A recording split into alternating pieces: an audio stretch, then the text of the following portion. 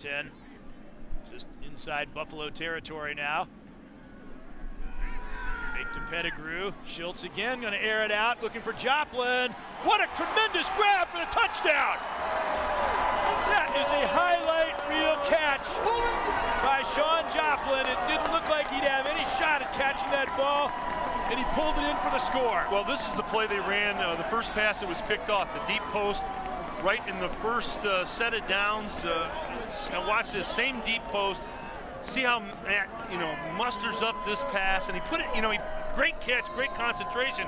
But watch Matt muster up there, and he really drops it right in over the top. I mean, it's right there. Good coverage by Buffalo, great concentration by Joplin, and Schilz just threw it right where it needed to be.